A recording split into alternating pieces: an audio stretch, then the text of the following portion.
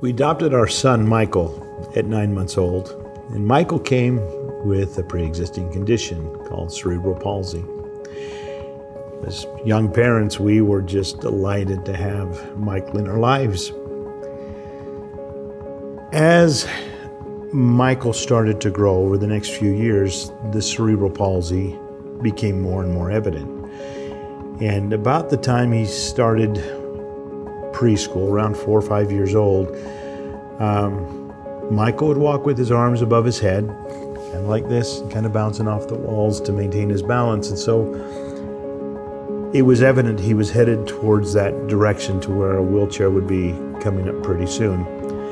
As parents, like any parents, we just wanted Michael to have the best life possible. And so we literally we traveled to Mexico, England, Germany, various places here in the United States to look at therapies for you know children with cerebral palsy to see if we could improve his quality of life. And everywhere we went, we were met with pretty much the same explanation. There is no cure for cerebral palsy. The best we can do is just exercise and diet and things like this to help improve the quality of life that he has.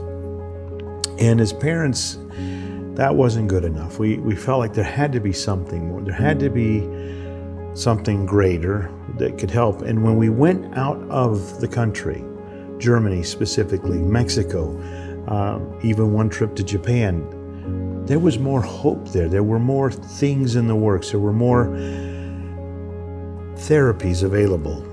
And so that allowed me to start looking into different directions. Now, this is back in the 80s. The internet wasn't around. And so we were going to trade shows. We would go to health shows and health fairs. And I became introduced to a book called Mega Brain by Michael Hutchison. And that book became my new Bible, at least as far as it came. Uh, for therapies for my son Michael.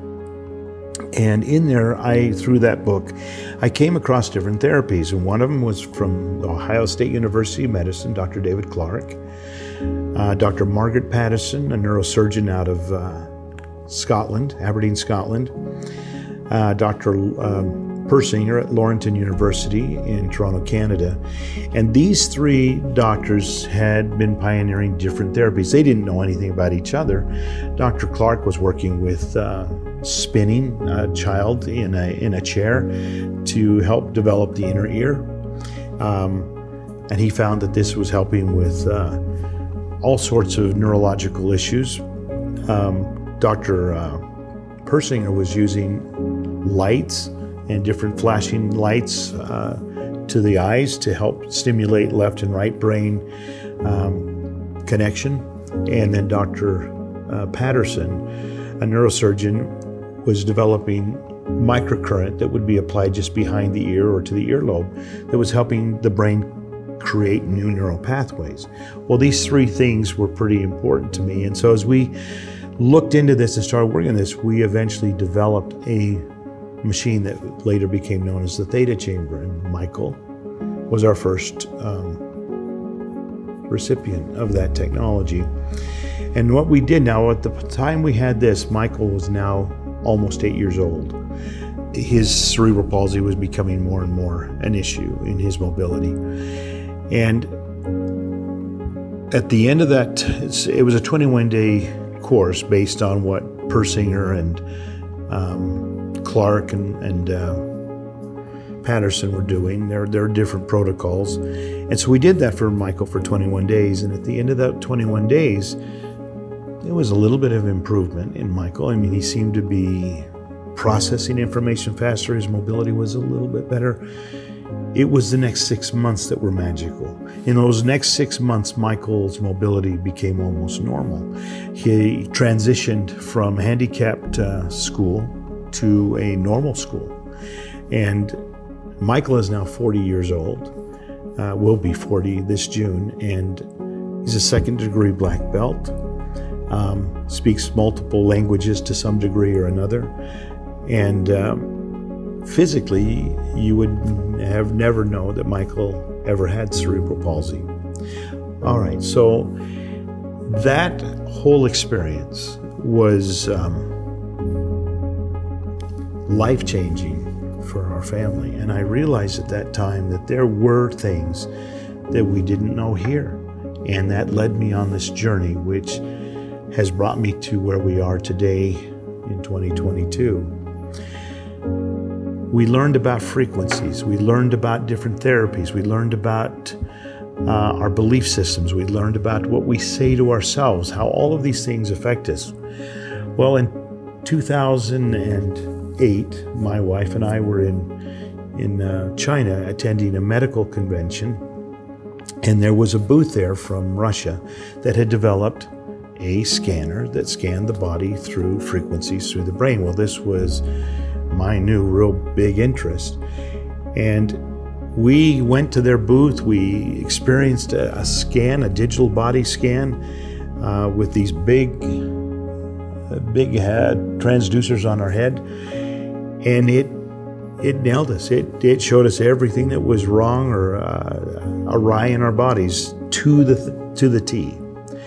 Well, we later worked with that company and acquired the rights to bring that to the United States. And we did that f- until about 2012. And then when technology had advanced, in other words, Windows 10 came available, the software wouldn't be stable anymore. And as we worked with the company, um, they just they had decided to bag it. This software had been written in the late 80s, early 90s on software that nobody supports anymore. And so they basically says you're pretty much on your own. And so over the next two to three years, we rewrote all of that software, all of their um, information on today's technology and for today's platform and software. And it became the AO scan.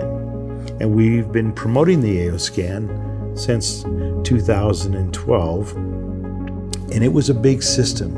It was a $30,000 scanner that was in a doctor's office, and you'd go in and you'd sit there, and you'd be there anywhere from an hour to three hours, depending on your scan, um, based on the old technology. Well, we were able to bring that technology to where we could get it done with much smaller transducers, and we could do it in um, about 45 minutes to an hour.